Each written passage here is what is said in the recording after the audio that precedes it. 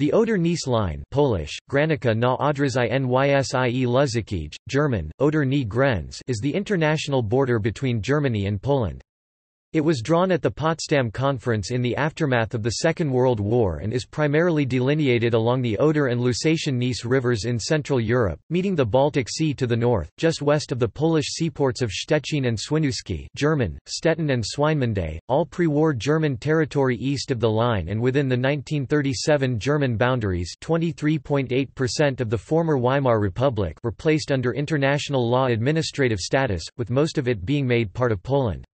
The small remainder, consisting of the territory surrounding the German city of Königsberg now renamed Kaliningrad, in honor of Soviet head of state Mikhail Kalinin in northern East Prussia, was allocated to the Soviet Union as Kaliningrad Oblast of the Russian SFSR, today the Russian Federation after the war pending the final World War II peace treaty for Germany. Virtually all of the native German population in these territories fled or were forced to leave. The Oder-Neisse line marked the border between the German Democratic Republic East Germany and Poland from 1950 to 1990. East Germany confirmed the border with Poland in 1950, while West Germany, after a period of refusal, finally accepted the border with reservations in 1970. In 1990 the newly reunified Germany and the Republic of Poland signed a treaty recognizing it as their border. Historical border between Poland and Germany The lower river Oder in Silesia was Piast Poland's western border from the 10th until the 13th century. From around the time of World War I, some proposed restoring this line, in the belief that it would provide protection against Germany. One of the first proposals was made in the Russian Empire. Later, when the Nazis gained power, the German territory to the east of the line was militarized by Germany with a view to a future war, and the Polish population faced Germanization. The policies of Nazi Germany also encouraged nationalism among the German minority in Poland. Before World War II, Poland's western border with Germany had been fixed under the terms of the Treaty of Versailles of 1919. It partially followed the historic border between the Holy Roman Empire and Greater Poland, but with certain adjustments that were intended to reasonably reflect the ethnic compositions of small areas near the traditional provincial borders. However Pomerelia and Upper Silesia had been divided, leaving areas populated by the Polish as well as other Slavic minorities on the German side and a significant German minority on the Polish side. Moreover, the border left Germany divided into two portions by the Polish corridor and the independent free city of Danzig, which had an overwhelmingly German population, but was split from Germany to help secure Poland's access to the Baltic Sea. Considerations during the war. Background. Between the wars, the concept of Western thought Myśl Zachodnia became popular among some Polish nationalists. The Polish motherland territories were defined by scholars like Zygmunt Wojciechowski as the areas included in PIAST Poland in the 10th century. Some Polish historians called for the return of territories up to the River Elbe. The proponents of these ideas, in pre-war Poland often described as a group of fantasists, were organized in the National Party, which was also opposed to the government of Poland, the Sanacja. The proposal to establish the border along the Oder and Neisse was not seriously considered for a long time. After World War II the Polish Communists, lacking their own expertise regarding the western border, adopted the national democratic concept of Western thought. After Nazi Germany invaded and occupied Poland, some Polish politicians started to see a need to alter the border with Germany. A secure border was seen as essential, especially in the light of Nazi atrocities. During the war, Nazi Germany committed genocide against Poland's population, especially Jews, whom they classified as Untermenschen subhumans". Alteration to the western border was seen as a punishment for the Germans for their atrocities and a compensation for Poland. The participation in the genocide by German minorities and their paramilitary organizations, such as the Selbstschutz self-defense", And support for Nazism among German society also connected the issue of border changes with the idea of population transfers intended to avoid such events in the future. Initially, the Polish government in exile envisioned territorial changes after the war which would incorporate East Prussia, Danzig Gdansk, and the Oppeln Opole Silesian region into post-war Poland, along with a straightening of the Pomeranian border and minor acquisition in the Lauenburg area. The border changes were to provide Poland with a safe border and to prevent the Germans from using western Pomerania and East Prussia as strategic assets against Poland. Only with the changing situation during the war were these territorial proposals modified. In October 1941 the exile newspaper Dziennik Polski postulated a post-war Polish western border that would include East Prussia, Silesia up to the Lausitzer Neisse and at least both banks of the Oder's mouth. While these territorial claims were regarded as megalomaniac by the Soviet ambassador in London, in October 1941 Stalin announced the return of East Prussia to Slavdom after the war. On 16 December 1941 Stalin remarked in a meeting with the British Foreign Minister Anthony Eden, though inconsistent in detail, that Poland should receive all German territory up to the River Oder. In May 1942 General Władysław Sikorski, Prime Minister of the Polish government in exile, sent two memoranda to the U.S. government, sketching a post-war Polish western border along the Oder and Neisse inconsistent about the eastern Glatzer Neisse and the western Lausitzer Neisse. However, the proposal was dropped by the government in exile in late 1942. In post-war Poland, the government described the Oder-Neisse line as the result of tough negotiations between Polish communists and Stalin. However, according to the Modern Institute of National Remembrance, Polish aspirations had no impact on the final outcome, rather the idea of a westward shift of the Polish border was adopted synthetically by Stalin, who was the final arbiter in the matter. Stalin's political goals as well as his desire to foment enmity between Poles and Germans influenced his idea of a swap of Western for Eastern territory, thus ensuring control over both countries. As with before the war, some fringe groups advocated restoring the old border between Poland and Germany. Tehran Conference At the Tehran Conference in late 1943 the Soviet leader Joseph Stalin raised the subject of Poland's western frontier and its extension to the river Oder. While the Americans were not interested in discussing any border changes at that time, Roosevelt agreed that in general the Polish border should be extended west to the Oder, while Polish eastern borders should be shifted westwards. He also admitted that it was due to elections at home he could not express his position publicly. British Foreign Minister Anthony Eden wrote in his diary that a difficulty is that the Americans are terrified of the subject which Roosevelt advisor Harry Hopkins called political dynamite for their elections. But, as I told him, if we cannot get a solution, Polish-Soviet relations six months from now, with Soviet armies in Poland, will be infinitely worse and elections nearer." Winston Churchill compared the westward shift of Poland to soldiers taking two steps, left close, and declared in his memoirs, if Poland trod on some German toes that could not be helped, but there must be a strong Poland. The British government formed a clear position on the issue and at the first meeting of the European Advisory Commission on 14 January 1944, recommended that East Prussia and Danzig, and possibly other areas, will ultimately be given to Poland, as well as agreeing on a Polish frontier on the Oder. Yalta Conference In February 1945, American and British officials met in Yalta and agreed on the basics on Poland's future borders. In the east, the British agreed to the Curzon Line but recognized that the U.S. might push for Lwów to be included in post-war Poland. In the west, Poland should receive part of East Prussia, Danzig, the eastern tip of Pomerania and Upper Silesia.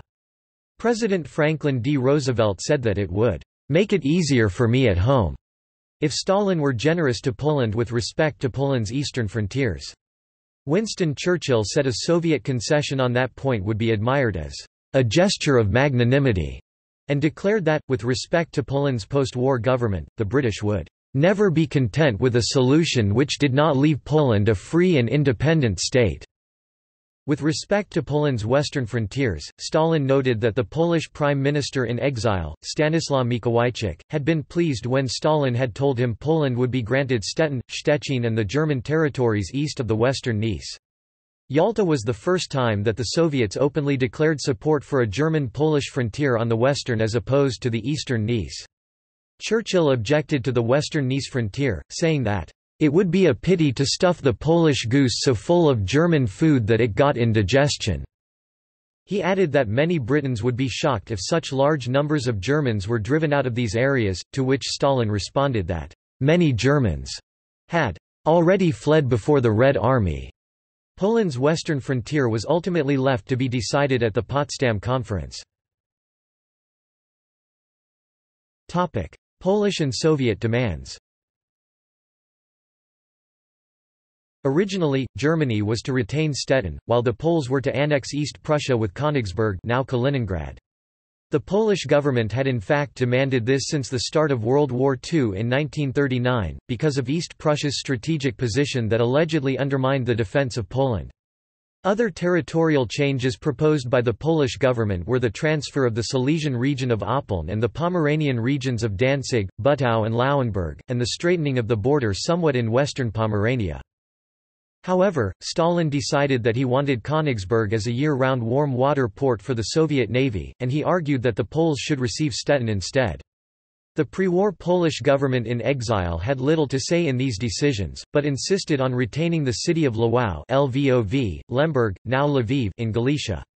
Stalin refused to concede, and instead proposed that all of Lower Silesia including Breslau Polish, Wrocław be given to Poland. Many Poles from Lwów would later be moved to populate the city.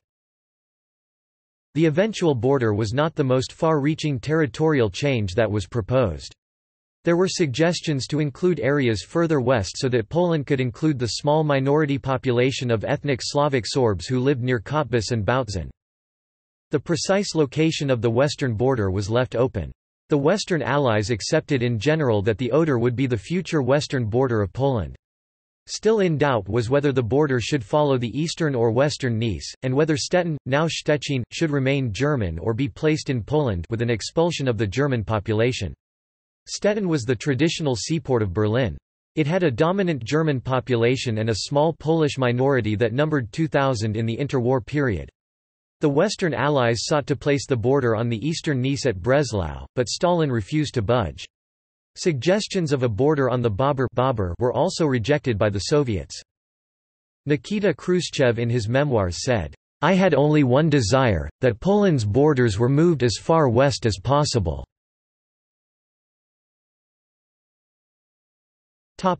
Potsdam Conference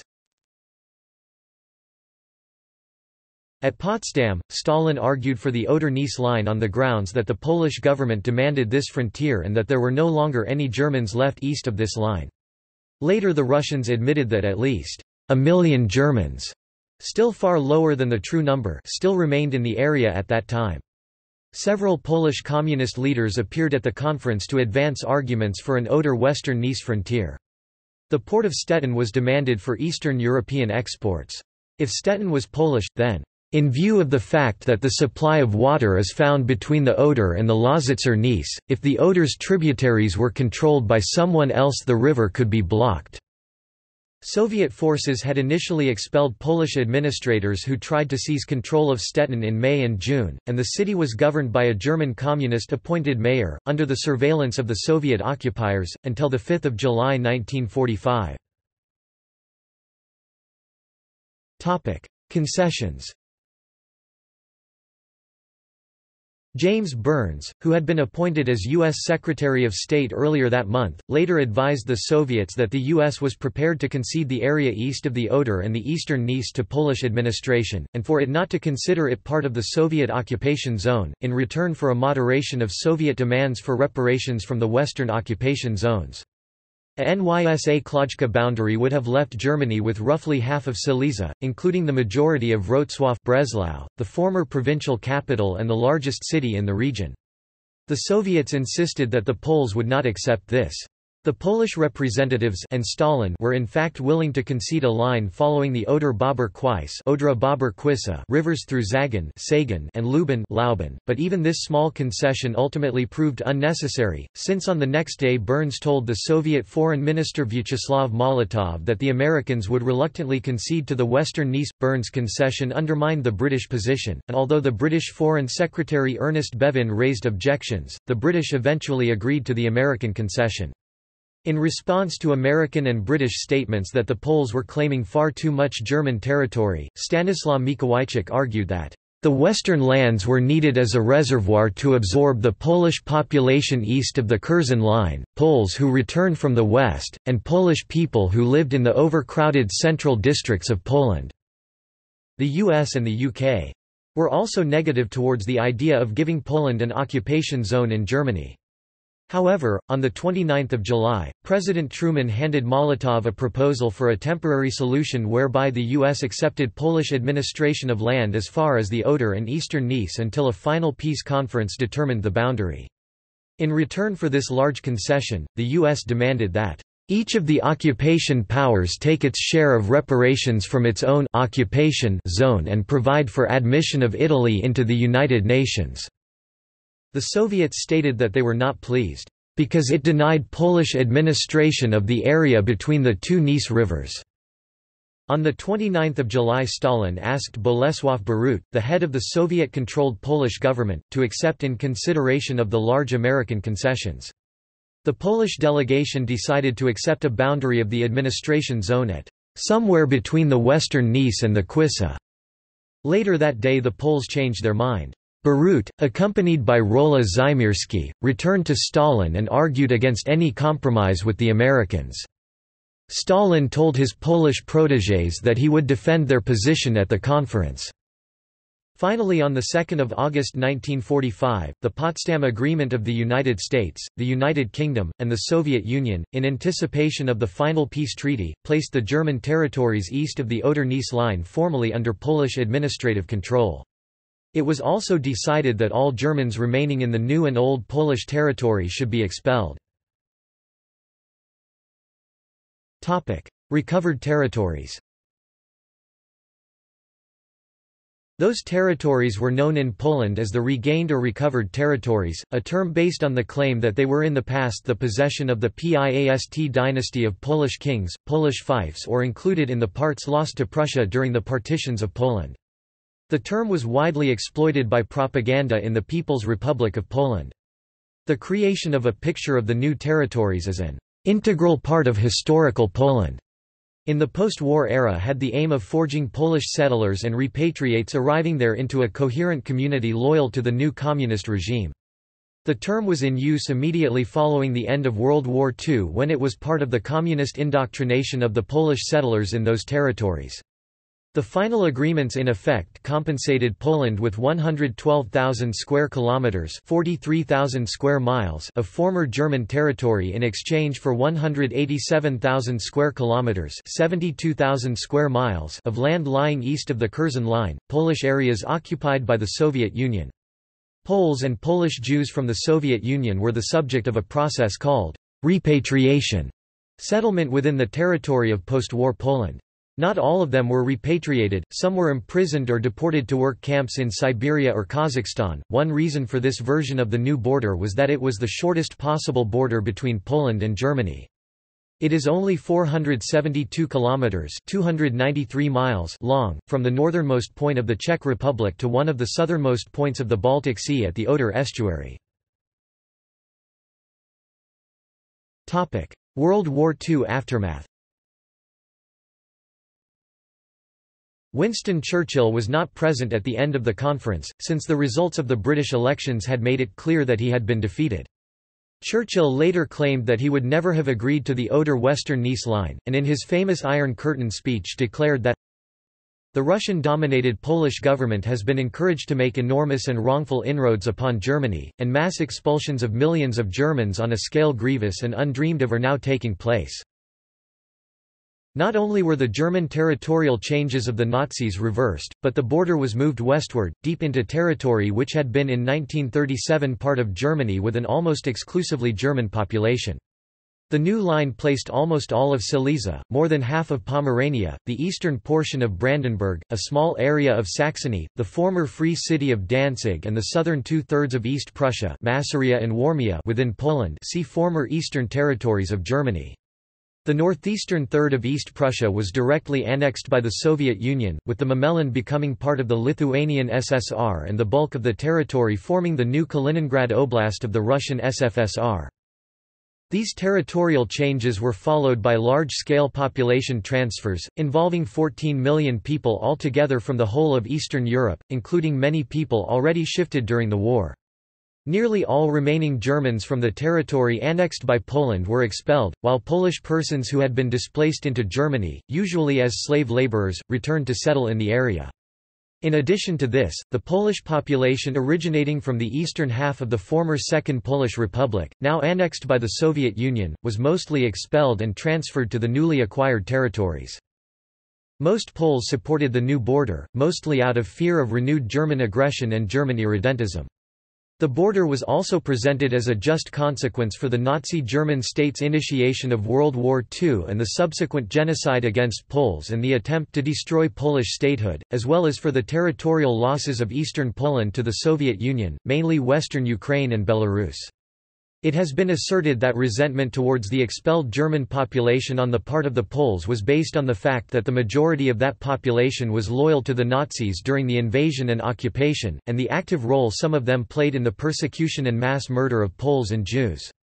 These circumstances allegedly have impeded sensitivity among Poles with respect to the expulsion committed during the aftermath of World War II. The new order was in Stalin's interests, because it enabled the Soviet Communists to present themselves as the primary maintainer of Poland's new western border.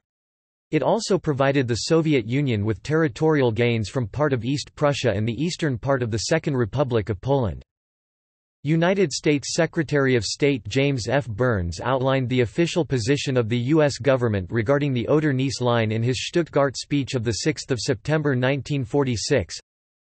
At Potsdam specific areas which were part of Germany were provisionally assigned to the Soviet Union and to Poland, subject to the final decisions of the Peace Conference. With regard to Silesia and other Eastern German areas, the assignment of this territory to Poland by Russia for administrative purposes had taken place before the Potsdam meeting. The heads of government agreed that, pending the final determination of Poland's western frontier, Silesia and other Eastern German areas should be under the administration of the Polish state and for such purposes should not be considered as a part of the Soviet zone of occupation in Germany. However, as the protocol of the Potsdam Conference makes clear, the heads of government did not agree to support at the peace settlement the cession of this particular area. The Soviets and the Poles suffered greatly at the hands of Hitler's invading armies. As a result of the agreement at Yalta, Poland ceded to the Soviet Union territory east of the Curzon Line. Because of this, Poland asked for revision of her northern and western frontiers. The United States will support revision of these frontiers in Poland's favor. However, the extent of the area to be ceded to Poland must be determined when the final settlement is agreed upon. The speech was met with shock in Poland and Deputy Prime Minister Mikołajczyk immediately issued a response declaring that retention of Polish territories based on the Oder-Neisse line was matter of life and death. Byrnes, who accepted Western Neisse as provisional Polish border, in fact did not state that such a change would take place as was read by Germans who hoped for support of their revisionist goals. The purpose of the speech and associated U.S. diplomatic activities was as propaganda aimed at Germany by Western powers, who could blame Polish-German border and German expulsions on Moscow alone. In the late 1950s, by the time of Dwight D. Eisenhower's presidency, the United States had largely accepted the Oder-Neisse line as final and did not support German demands regarding the border, while officially declaring a need for a final settlement in a peace treaty. In the mid-1960s the U.S. government accepted the Oder-Neisse line as binding and agreed that there would be no changes to it in the future. German revisionism regarding the border began to cost West Germany sympathies among its Western allies. The Oder-Neisse line was, however, never formally recognized by the United States until the revolutionary changes of 1989 and 1990. In 1959, France officially issued a statement supporting the Oder-Neisse line, which created controversy in West Germany. Topic: German recognition of the border. Topic: East Germany. The East German Socialist Unity Party (SED), founded 1946, originally rejected the Oder-Neisse line. Under Soviet occupation and heavy pressure by Moscow, the official phrase Friedensgrenze border of peace was promulgated in March to April 1947 at the Moscow Foreign Ministers' Conference. The German Democratic Republic and Poland's communist government signed the Treaty of Zgorzelec in 1950 recognizing the Oder-Neisse line, officially designated by the Communists as the border of peace and friendship. In 1952 Stalin made recognition of the Oder-Neisse line as a permanent boundary one of the conditions for the Soviet Union to agree to a reunification of Germany see Stalin note. The offer was rejected by the West German Chancellor Konrad Adenauer. West Germany The West German definition of the de jure Borders of Germany was based on the determinations of the Potsdam Agreement, which placed the German territories as of 31 December 1937 east of the Oder-Neisse line, under the administration of the Polish state, while the final delimitation of the western frontier of Poland should await the peace settlement.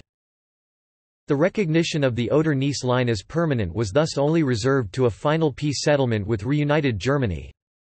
In West Germany, where the majority of the displaced refugees found refuge, recognition of the Oder-Neisse line as permanent was long regarded as unacceptable. Right from the beginning of his chancellorship in 1949, Adenauer refused to accept the Oder-Neisse line as Germany's eastern frontier, and made it quite clear that if Germany ever reunified, the Federal Republic would lay claim to all of the land that had belonged to Germany as of 1 January 1937 that now belonged to Poland and the Soviet Union. A staunch opponent of denazification, Adenauer incorporated into his government former Nazis like Theodor Oberlander, who before the war advocated reduction of the Polish population by millions. For the Polish population, Adenauer's actions and his appointment of Nazis like Oberlander meant that West Germany was considered a continuation of the former Nazi Reich by the Warsaw Pact. Soon after the agreement was signed, both the US and Soviet Union accepted the border as de facto the legal border of Poland. United States Secretary James Byrnes accepted the Western Neisse as the provisional Polish border. While in his Stuttgart speech he played around with an idea of modification of borders in Poland's favor, giving fuel to speculation by German nationalists and revisionists, the State Department confessed that the speech was simply intended to "...smoke out Molotov's attitude on the eve of elections in Germany." In pursuit of this, the Adenauer government which included former Nazis went to the Constitutional Court to receive a ruling that declared that legally speaking the frontiers of the Federal Republic were those of the German Nazi Reich as of 1 January 1937, that the Potsdam Declaration of 1945 which announced that the Oder-Neisse line was Germany's provisional eastern border was invalid, and that as such the Federal Republic considered all of the land east of the Oder-Neisse line to be illegally occupied by Poland and the Soviet Union. The American historian Gerhard Weinberg pointed out that in claiming the frontiers of 1937, West Germany was in fact claiming the frontiers established by the Treaty of Versailles, which the entire interwar German leadership had claimed to be totally unacceptable from 1919 to 1939, and which perhaps indicated that Versailles was nowhere near as harsh as claimed, especially when compared with the far greater territorial losses imposed by the Oder-Neisse line. Not all in Adenauer's government supported this. Politicians like Minister Seebohm criticized limiting German territorial demands to Nazi borders of 1937, alluding to pre-Versailles borders, as did the Organization of German Expelled BDV. In 1962 a virulent anti-Polish organization called AKON was founded in West Germany which published maps with the borders of 1914. To Hans-Peter Schwarz, Adenauer's refusal to accept the Oder-Neisse line was in large part motivated by domestic politics, namely his desire to win the votes of the right-wing nationalists who once voted for the Nazis to the CDU, and who formed a powerful domestic lobby known as the Expellee lobby. The various groups that represented the Germans who fled or were expelled from Eastern Europe formed a powerful lobby in the Federal Republic in the 1950s that no politician was willing to anger as 16% of the electorate in 1950 were people who fled or were expelled after the war. As a result, the CDU, the CSU, the FDP and the SPD all issued statements opposing the Oder-Neisse line and supporting Heimatrecht right to one's homeland", i.e. that the expellees be allowed to return to their former homes. Adenauer greatly feared the power of the expellee lobby, and told his cabinet in 1950 that he was afraid of unbearable economic and political unrest if the government did not champion all of the demands of the expellee lobby. In addition, Adenauer's rejection of the Oder-Neisse line was intended to be a deal-breaker if negotiations ever began to reunite Germany on terms that Adenauer considered unfavorable such as the neutralization of Germany as Adenauer knew well that the Soviets would never consider revising the Oder-Neisse line. Finally Adenauer's biographer, the German historian Hans-Peter Schwarz has argued that Adenauer may have genuinely believed that Germany had the right to retake the land lost east of the Oder and Neisse rivers, despite all of the image problems this created for him in the United States and Western Europe. By contrast, the Finnish historian Pertti Ahonen, citing numerous private statements made by Adenauer that Germany's eastern provinces were lost forever and expressing contempt for the expellee leaders as delusional in believing that they were actually going to return one day to their former homes, has argued that Adenauer had no interest in really challenging the Oder-Neisse line. Ahonen wrote that Adenauer saw his life's work in anchoring the Federal Republic irrevocably to the anti-communist West and no burning interest in East European problems, or even German reunification. Adenauer's stance on the Oder-Neisse line was to create major image problems for him in the Western countries in the 1950s, where many regarded his revanchist views on where Germany's eastern borders ought to be with considerable distaste, and only the fact that East Germany was between the Federal Republic and Poland prevented this from becoming a major issue in relations with the West. On 1 May 1956, the West German Foreign Minister Heinrich von Brentano admitted during a press conference in London that the Federal Republic's stance on the Oder-Neisse line was somewhat problematic, and suggested that the Federal Republic should recognize the Oder-Neisse line in exchange for the Soviet Union allowing German reunification. Brentano's remark caused such an uproar with the Expellee leaders arguing that he should resign, that Adenauer was forced to disallow his foreign minister, and Brentano only kept his job by claiming that he was misquoted by the British press. In private, Brentano was willing to accept the Oder-Neisse line as the price of reunification, and was not misquoted in London as he claimed afterwards. Away from the public limelight in a conversation with the Canadian ambassador Charles Ritchie in June 1956, Brentano called the leaders of the Expellee groups, "...unteachable nationalists." who had learned nothing from World War II, and who did not have the right to control the Federal Republic's policy towards Eastern Europe by vetoing policy changes they disliked. Brentano's press conference was meant by Adenauer to be a trial balloon to see if the Federal Republic could have a more flexible policy towards Eastern Europe. The furious protests set off by Brentano's press conference convinced Adenauer that he did not have the domestic support for such a policy, and that the current policy of opposing the Oder-Neisse line would have to continue. This caused considerable disappointment with Adenauer's Western allies, who had been applying strong pressure behind the scenes and would continue to apply such pressure for the rest of the 1950s for Bonn to recognize the Oder-Neisse line. This pressure became especially acute after the Polish October Crisis of 1956 brought to power Władysław Gomulka as Poland's new leader.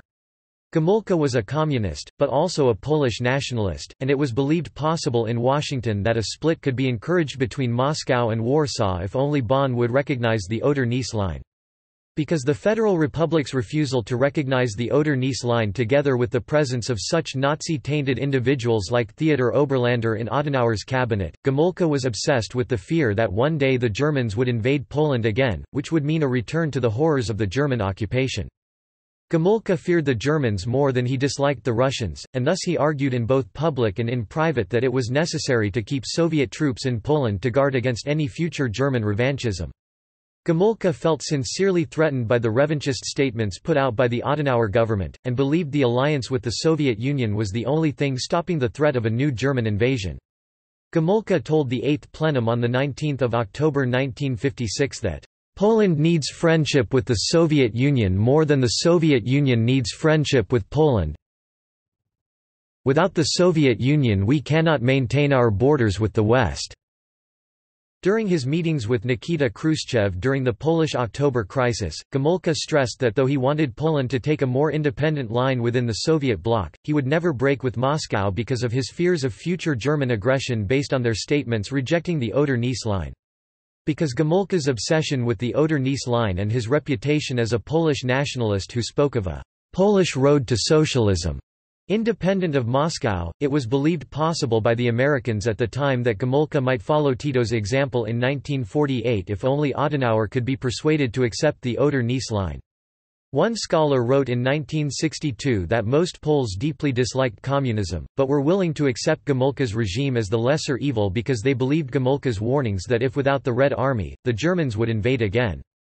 Such was the extent of Polish fears about German revanchism that as late as February 1990 the Polish Prime Minister Tadeusz Mazowiecki stated in a speech that Red Army might have to stay in Poland until Germany had promised to firmly recognize the Oder-Neisse line as the final frontier between Germany and Poland. In 1963 the German Social Democratic opposition leader Willy Brandt said that, "...abnegation is betrayal." But it was Brandt who eventually changed West Germany's attitude with his policy of Ostpolitik. In 1970 West Germany signed treaties with the Soviet Union Treaty of Moscow and Poland Treaty of Warsaw recognizing Poland's western border at the Oder-Neisse line as current reality, and not to be changed by force. This had the effect of making family visits by the displaced Eastern Germans to their lost homelands now more or less possible. Such visits were still very difficult, however, and permanent resettlement in the homeland, now Poland, remained impossible. In 1989, another treaty was signed between Poland and East Germany, the sea border was defined, and a dispute from 1985 was settled. In March 1990, the West German Chancellor Helmut Kohl caused a storm, when he suggested that a reunified Germany would not accept the Oder-Neisse line, and implied that the Federal Republic might wish to restore the frontier of 1937, by force if necessary. Kohl further added that in a statement of 1 March 1990 that he would only recognize the Oder-Neisse line if Poland promised to pay compensation to the Germans expelled after 1945 and if Poland promised not to seek reparations for the sufferings of Polish slave laborers in Germany and reparations for the damage done by German forces to Poland during World War II. After's Kohl's note caused a massive international backlash that threatened to derail the process for German reunification. Kohl hastily changed track, and said that a reunified Germany would accept the Oder-Neisse line after all, and that he would not seek to link recognizing the Oder-Neisse line to talks about compensation. In November 1990, after German reunification, the Federal Republic of Germany and the Republic of Poland signed a treaty confirming the border between them, as requested by the treaty on the final settlement with respect to Germany. Earlier, Germany had amended its constitution and abolished Article 23 of West Germany's Basic Law on which reunification was based, which could have been used to claim the former German Eastern Territories. The German-Polish Border Treaty, signed 14 November 1990, finalizing the Oder-Neisse line as the Polish-German border came into force on 16 January 1992, together with a second one, a Treaty of Good Neighborship, signed in June 1991, in which the two countries, among other things, recognized recognized basic political and cultural rights for both the German and the Polish minorities living on either side of the border. After 1990, approximately 150,000 Germans still resided in the areas transferred to Poland, mainly in the Opole voivodeship, with a smaller presence in regions such as Lower Silesia and Warmia-Masuria. There are 1.5 million Poles or ethnic Poles living in Germany, including both recent immigrants and the descendants of Poles that settled in Germany many generations ago. Other developments Topic: Division of cities The border divided several cities into two parts, Gorlitz, Zgorzelec, Guben, Gubin, Frankfurt, Slubice and Bad Muskau, Łęknica. Partially open border 1971–1980 Millions visited the neighboring country either Poland or East Germany during the years 1971 to 1980. The East German economy was threatened by overconsumption of Polish tourists, who came to East Germany to buy cheaper products that the socialist economy could not provide in abundance on either side of the border, and the Poles also became politically dangerous for the GDR government by the time of the 1980 solidarity strikes. Schengen Agreement Poland joined the Schengen area in 2007. This meant that all passport checks were removed along the border in December 2007. The limitations on Poles working in Germany expired in April 2011. See also Curzon Line Federation of Expellees Allied occupation zones in Germany World War II related events. Vistula Oder Offensive, from 12 January until 2 February 1945 Malta Conference, from 30 January to 3 February 1945 Yalta Conference, from 4 to of February 1945 Battle of Königsberg, from 6 April until 9 April 1945 Battle of the Oder-Neisse, from 16 April until 19 April 1945 Potsdam Conference, from 17 July to 2 August 1945 Notes. References. Bibliography External links An East German pamphlet for propagandists entitled, Why is the Oder-Neisse Line a Peace Border? Treaty between the Federal Republic of Germany and the Republic of Poland on the confirmation of the frontier between them, 14 November 1990 PDF Treaty confirming the border between Germany and Poland Warsaw, November 14, 1990 in Polish and German The Oder-Neisse Line Problem German PDF Closing the Ring Winston Churchill, excerpt on the Tehran Conference, from his memoirs Speaking frankly James F. Byrnes, excerpt on the Yalta Conference, from his memoirs. Triumph and Tragedy Winston Churchill, excerpt on the Yalta Conference, from his memoirs. Churchill's statement to the House of Commons 27 February 1945, describing the outcome of Yalta The German-Polish border region. A case of regional integration? Arena Working Papers WP 97 19 Jorunn Sem Fure Department of History, University of Bergen